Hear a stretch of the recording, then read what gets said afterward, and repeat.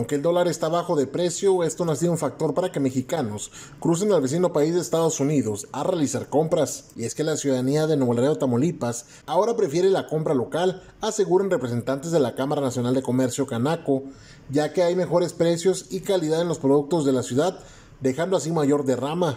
Bueno, el principal factor es que se descubrieron o se dieron cuenta que pueden encontrar productos de buena calidad y a buenos precios aquí en la, frontera, en el rubro de gastronomía, en el rubro de, todos los, eh, los enseres que tiene para su casa, todas las cosas que uno consume día con día, este, los bienes, este, pues vemos que, hay un repunte.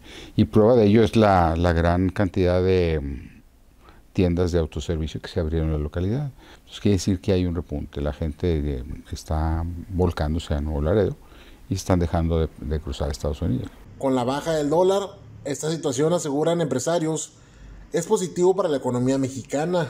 No, eso es muy bueno porque fortalece la economía, entonces hace que Quiere decir que el país está teniendo mayores ingresos tanto por turismo como por, por lo que hay el comercio exterior aquí con, con Estados Unidos.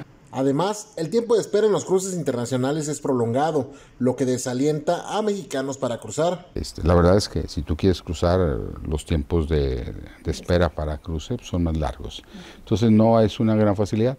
Sí sabemos que ha habido un incremento, pero lo ves en las placas. Cuando te acercas al puente ves placas eh, foráneas. Era la diferencia de precios. Claro, a veces cuesta lo mismo aquí, pero hay más calidad.